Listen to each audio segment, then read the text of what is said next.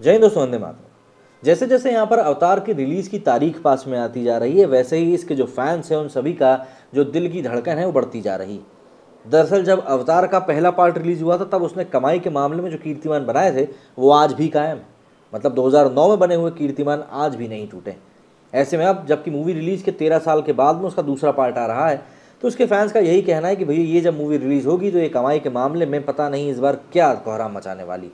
और वैसे भी आज की डेट में तो हम लोग देख ही रहे हैं कि बॉक्स ऑफ़िस कलेक्शन जो है वो काफ़ी सारे लेवल के ऊपर एक पैमाना बन चुका है कि इसके ऊपर हमको मूवी को कैसे नापना है।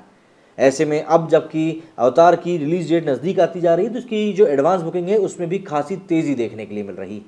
कहा यह भी जा रहा है कि चौबीसों घंटे इस मूवी के शोज़ चलाए जाएँगे।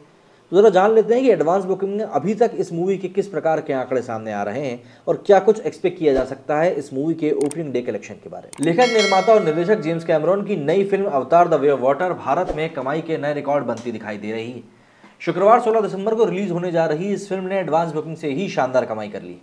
और बीते 24 घंटों में जिस तरह से रिलीज़ के पहले दिन की टिकटें बिकनी शुरू हुई हैं, उससे यही लगता है कि रिलीज़ के पहले दिन ये फ़िल्म देश में रिलीज़ हुई हॉलीवुड फ़िल्मों की कमाई का नया रिकॉर्ड बनाएगी। पहले दिन की कमाई के मामले में अभी तक मार्वल स्टूडियोज की फ़िल्म एवेंजर्स एंड गेम पहले नंबर पर है, जिसने रिलीज़ के पहले दिन साल 2019 में तिरपन करोड़ रुपए कमाए थे। Film Avatar the way of water की मुंबई में मंगलवार की दोपहर हुई स्पेशल स्क्रीनिंग देखने वाले समीक्षकों के रिव्यू सामने आने लगे।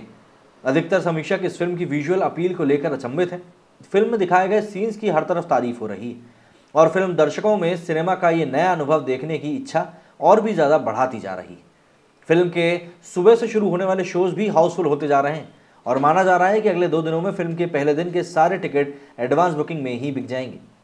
बुधवार दोपहर तक film Avatar the way of water की एडवांस बुकिंग को लेकर जो आंकड़े सामने आए हैं, वे इससे ठीक हफ़्ते भर बाद रिलीज़ हो रही निर्देशक रोहित शेट्टी की फ़िल्म सर्कस के लिए परेशानी खड़ी करने वाले जेम्स कैमरॉन की film Avatar the way of water इस साल की दुनिया भर में सबसे ज़्यादा प्रतीक्षित किए जाने वाली मूवी बन चुकी है।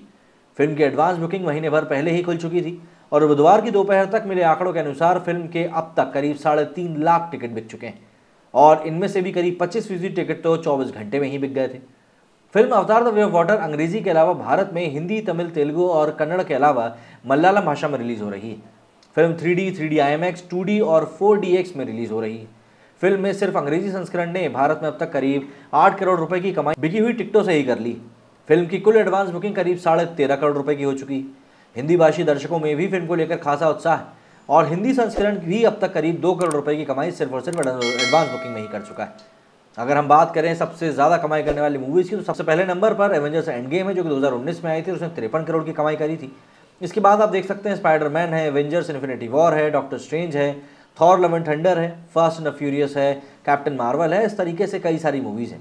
तो ऐसे में अब माना यही जा रहा है कि एवेंजर्स एंड गेम का रिकॉर्ड जो है वो अवतार तोड़ने वाली है और व्यापक तौर पर ही पूरी दुनिया में ऐसा रिकॉर्ड सेट करने वाली है जो कि वाकई में देखने लायक होगा।